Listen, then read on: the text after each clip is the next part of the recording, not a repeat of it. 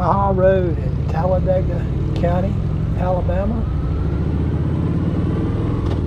Today we're starting on the lower end of Cheaha Road and riding up to the top, the Cheaha Pig Trail. The first time I rode it was with Jerry McCain a couple of years ago.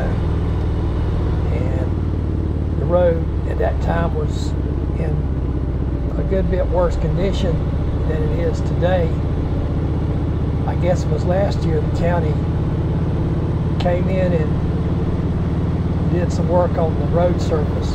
However, it still got some pretty good bumps and road patches.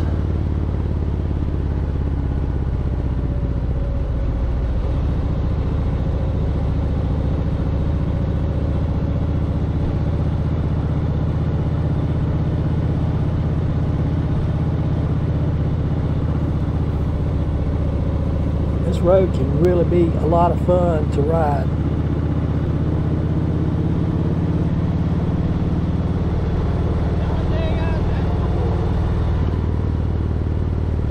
It's a really good ride, I tell you guys. If you get a chance, ride it.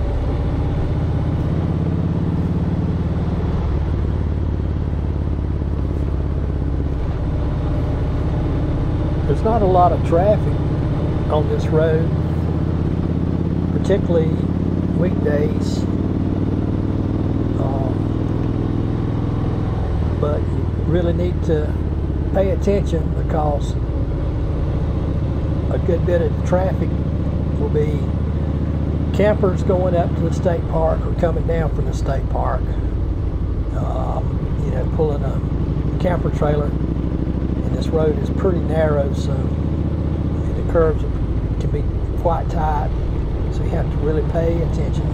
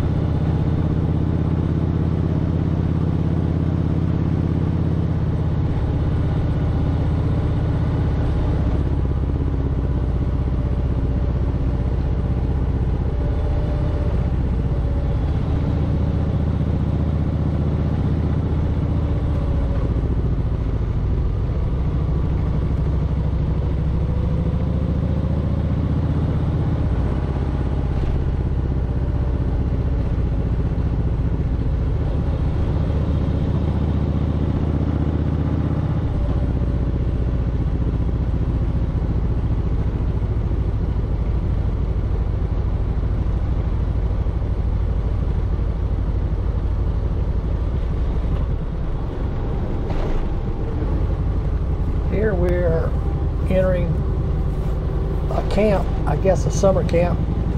It's called Camp Mac. Pretty neat looking place. It has a pretty nice lake, upper lake on the right and lower lake on the left.